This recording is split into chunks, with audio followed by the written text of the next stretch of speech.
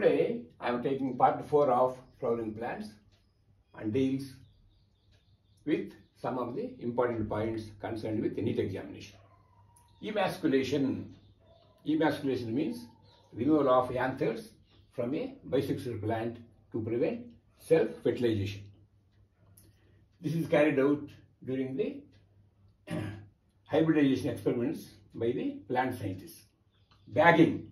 Bagging means covering the emasculated flowers or unisexual female flowers before they open with a bag made of butter paper. This prevents unwanted cross fertilization. Embryogeny means development of zygote into an embryo. Perisperm.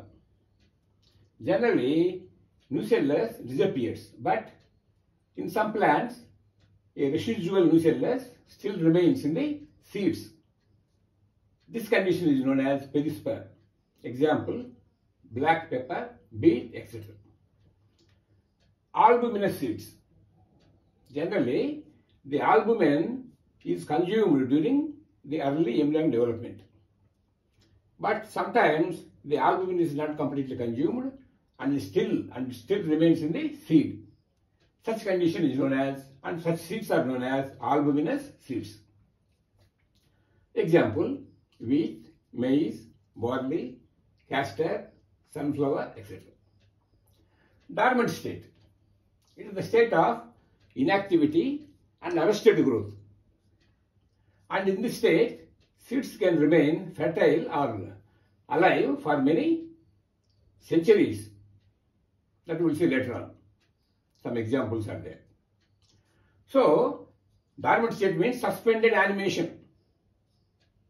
The metabolic activity occurs very low rate and very little energy is consumed during the dormant state. It is a safety mechanism to overcome unfavorable conditions. Pericarp. It is the ovarian wall that develops into a fruit. Examples mango, guava, orange, etc. True fruit. So when the, when the ovarian wall develops into a fruit, such fruits are known as true fruits. False fruit.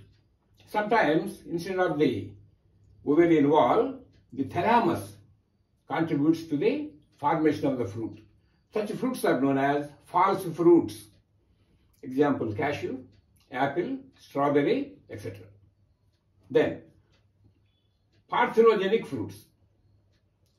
These fruits develop from unfertilized ovary. And the important thing is, such ovaries do not produce any seeds. Parthenocarpy can be induced by the application of growth hormones. Example for parthenocarpy is banana. In banana, seeds are completely absent and the bananas develop from unfertilized ovary. Drupe. Drupe is a fleshy fruit with a thin skin and a central stony hard covering enclosing the seed. Example for drupe, mango, coconut, etc. Then polyembryony. Presence of many embryos in the ovisac is known as polyembryony. Usually, only one embryo develops in the ovisac. But sometimes the surrounding nucellar cells penetrate into the ovisac and they also develop into embryos. As a result, instead of one embryo, many embryos develop in the ovisac and that condition is known as polyembryony. Example, citrus and mango. Then segregation of genes. You have studied about Mendel's laws. In the Mendel's first law, Uh, which is also known as segregation of genes, in F2 generation what happens? The genes segregate. Here what happens is, farmers purchase hybrid seeds for cultivation. But the seeds produced from the crops raised by the farmers are unsuitable for further cultivation. Why? This is because of segregation of genes. Here what happens is, so I'll give an example. This is the F1 generation plants which are sold by the seed companies to the farmers. These, these are hybrid plants. These hybrid plants exhibit hybrid vigor or heterosis. As a result, the crop yield will be very high. Then what happens? These F1 plants produce three type of plants in the next generation, in every generation. See, these are the male gametes, these are the female gametes produced by the F1 plants. And when these gametes come together, we get three types of plants and uh, three types of genotypes. Heterozygous tall, uh, homozygous tall, heterozygous and dwarf variety.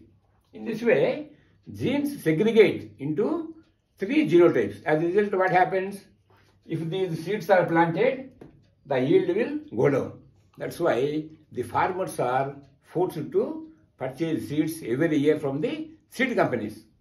But this problem can be avoided by apomixis. In the case of apomixis, what happens is, this is a mechanism of production of seeds without fertilization. So here, the F1 plants produce seeds without fertilization. As a result, what we get? We get only F1 plants or F1 plant seeds.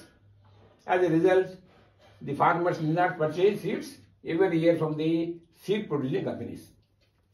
You have to remember one main difference between apomixis and parthenogenic fruits. Both are the same. In both the cases, there is no fertilization. But here what happens is in parthenogenic fruits, ovaries develop into fruits, but seeds are not formed. But in the case of apomixis, there is no fertilization, but seeds are formed. And these seeds can be used for cultivation. Here, two examples are given, Asteraceae and in grasses, this apomixis uh, takes place. Then, plant examples are given here. One is Lupinus arcticus. Arcticus means it was found in the Arctic region. Here, the seeds of these plants were recovered that were 10,000 years old. When these 10,000 year old seeds were planted, they have germinated. It means that for a long, for more than 10,000 years, the seeds remain in a dormant state. And still, they could germinate. The second one is Phoenix dactylifera. In this case, the seeds were discovered or recovered from the palace of King Herod. They were about 2000 years old and they were also made to germinate successfully. In this way, even though the seeds are 2000 years old or 10,000 years old, still they can be germinated because of the long dormancy of seeds in the case of plants, some plants. That is about some of the important points we have not covered in the previous topics under this chapter. Thank you.